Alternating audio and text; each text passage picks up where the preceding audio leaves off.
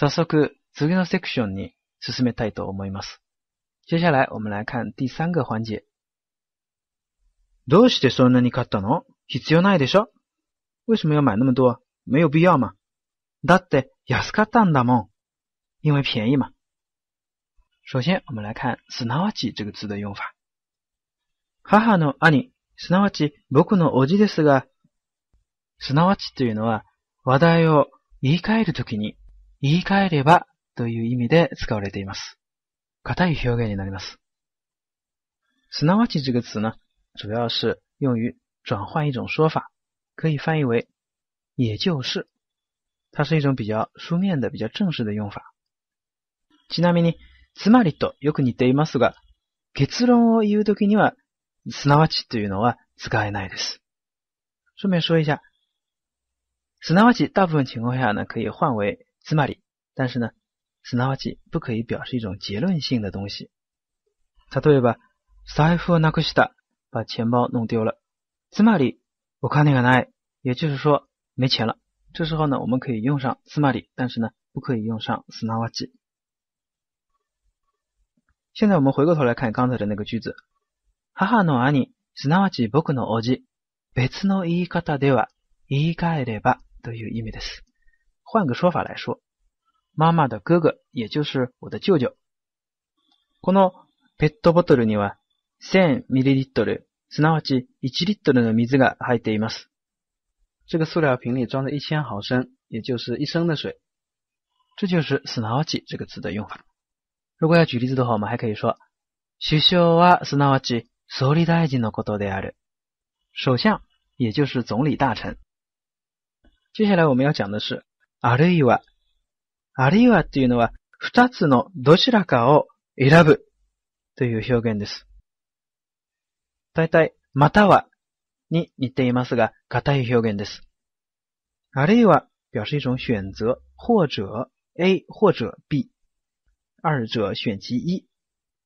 但是呢，它是一种比较正式的说法，比较口语化的说法呢，可以用または。ファックス、あるいはメールでお知らせください。ファクスかメールかどちらでもいいです。いずれも結構です。用传真或者用邮件来通知我。二者选其一。来週の火曜日の午後はどうですか？あるいは水曜日の午前でも構いませんが。下周二的下午怎么样？或者说星期三的上午也可以。そし、あるいは南京で開催する。在苏州或者在南京举行。その次、貧しいだが幸せだ。这里我们主要讨论だが这个字的用法。だがというのは接続詞です。硬い表現として、しかし、けれどもという意味を表しています。だが呢，也是一个接续词，它是一种比较生硬的、比较正式的用法，往往用于书面语。它的意思呢，就相当于しかし、けれども是一个转折。 これは難しい挑戦だ。这是一次艰难的挑战。だが、失敗を恐れてはいけない。但是呢，不能害怕失敗。難しい挑戦だけれども、失敗を恐れてはいけないという意味です。じゃあもう一つ。生活は貧しい。だが幸せだ。貧しいけれども、虽然生活很穷，但是呢，很幸福。金融危機は去った。だが安心できない。金融危机过去了，但是呢，仍然不放心。お腹が空いた。だが、食事の時間はまだです。肚子饿了，但是呢，还没有到吃饭的时间。その次、怒ってる。だって約束を破ったから。だっての使い方を見ましょう。我们来看继续词だって的用法。だってというのは非常に話し言葉的な表現です。だって是一个比较口语化的表达方法。主に相手の言葉あるいは話に反対する、あるいは事情を説明するときに用いられます。でも、そうではあるがという意味です。だって很多的情况下是为了表明自己的立场、辩解、反对对方，这时候呢来使用的，用来陈述自己的理由，相当于そうではあるが、でも，很多情况下还可以与だもの、だもん这样的结尾相呼应。例えば、 何を怒っているのだって約束を破ったじゃないか。在生什么气呢？还不是因为你没有遵守约定吗？怒っているのは約束を破ったからだ。因为别人没有遵守约定，所以才生气。这时候呢，就是表示自己生气的一种原因和理由。テストの点良かったんだって。听说你考试考得不错。うん。 だって優しかったんだもん。因为简单嘛。なぜならば優しかったから。为什么呢？因为简单。这里呢，就是用来表述自己的理由，陈述情况。我们再来举一个例子，比如说老师对学生说：“为什么迟到呢？”学生说：“那因为闹钟坏了。”なぜ遅刻したの？だって目覚まし時計が壊れたんだもん。では練習しましょう。 練習しようね。練習1。1番。ご希望の商品 A。这里有两个选项。あるいは、すなわち、A、B のいずれか一つに丸をつけご応募ください。正确答案应该是 A。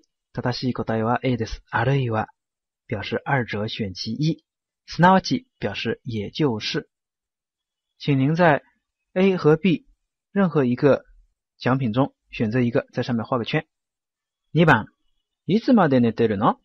你要睡到什么时候啊？早く起きなさい。赶快起来吧。だって、眠いもんか。眠いんだもん。正しい答えは B。眠いんだもん。因为我困嘛。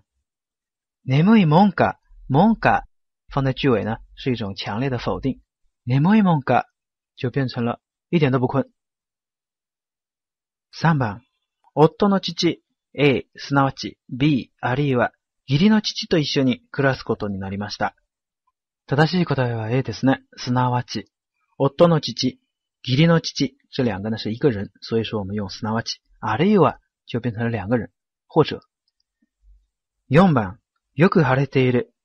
A、だって、B、だが、気温は低い。正しい答えは B です。正确答案应该是 B。天气很好，但是气温很低。だって更多的是表示自己的理由，或者说陈述自己的一些情况。5番、寒いし、疲れているし、あそこは遠いし。A、つまり B、すなわち、行きたくないってことね。正しい答えは A です。つまり，这里呢是一种结论性的东西，只能用上つまり。又冷又累，那边又远，也就是说你不想去是吧？続きまして練習2です。6番。最近は CD、すなわちコンパクトディスク付きの語学教材が多く販売されている。CD Compact Disc，这两个呢是一样东西，是同一个东西，只不过是两种名称、两种叫法罢了。因此呢，我们用上 s n a w a c h i z k i 表示带有什么的，带 CD 的语言学的教材。7番、事故に遭った時は何ともなかった。だが、そのあくる日に頭が痛くなった。发生事故的那一天，什么事都没有。だが，转折了。第二天头疼起来了。